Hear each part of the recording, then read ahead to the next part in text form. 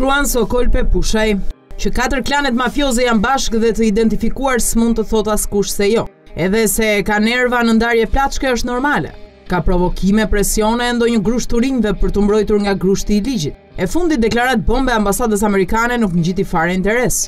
Thjesht porositi i çmendur është lëreni në punë të vet Saliun. Po bomba e parafundit cila ishte? Ju e dëgjuat, e njëjta, i çmendur është, lëreni në punë të vet Aulantin. Deklarata e parë u bë para një shekulli kur shoqëria vuante vetëm nga tre sëmundje, drejtësia e padrejtë, korrupsioni që trashet dhe shtypi që i pëlqen shtypja. Prej sot deri dje pardje e tepardje kanë ndodhur aq ngjarje sa kombet e mëdha nuk i kanë rrisk as në 50 vite. Po t'i kishin do jetonin me libra dhe kinematografi, jo me kap ç'të kapësh. Ja, nëpër kodikët e mafies thuhet se Irfan Hysenbelliu, një mafioz i Ballkanit, pasi humbi një betejë me bablokun e Tiranës, kërkoi ndihmë tek amerikanët. U tha se duan t'i marrin pasurinë, lirinë e disa gazetarëve që u ka blerë për qejf të tij vila, si me thënë disafish më shumë se rroga e gjithë presidentëve amerikanë në tërë historinë amerikane e të tjera muhabete që do i publikojmë në vazhdimësi.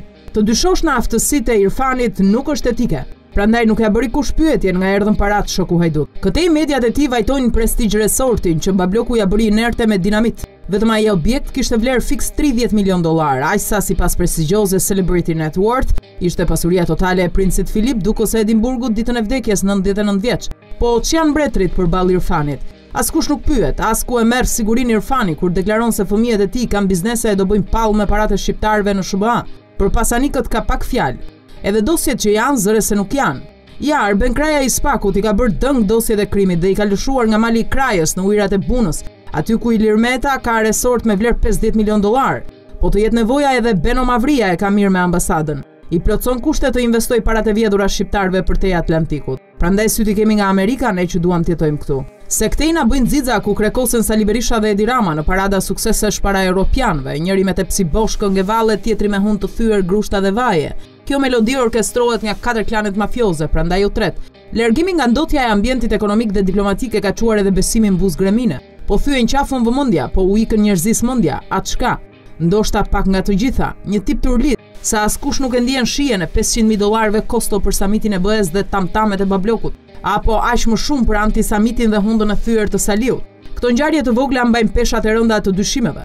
Ja, po të mos ishin Shkëlzen dhe Argita Berisha fëmijët e Saliut do të ishin këta që janë. Po Olsi dhe Linda Rama të mos qe babloku kryeministër do rreshtoheshin në krye të pasanikëve të Ballkanit?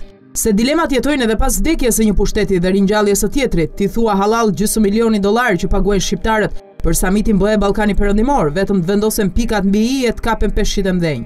E kjo ditë vjen.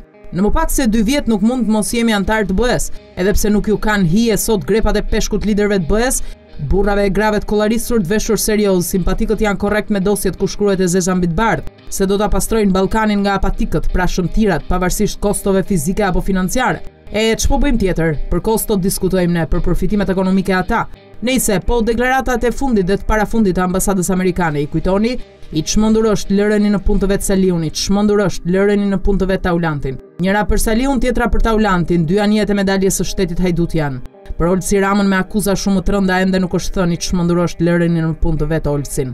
Po dhe Olsi parat në SHBA i ka investuar dhe ambasada e di edhe më mirë se ne që grumbullojmë dosje e fakte të gjalla. Pse do të hyjmë me zor në BE? Pse ka media që guxon e nuk shitet? Katër klanet mafioze janë dinamike deri në kulmin e dyshimit mbarëpopullor, se Saliu dhe Juri Kim mbrojnë Taulantin dhe Olsi Ramën.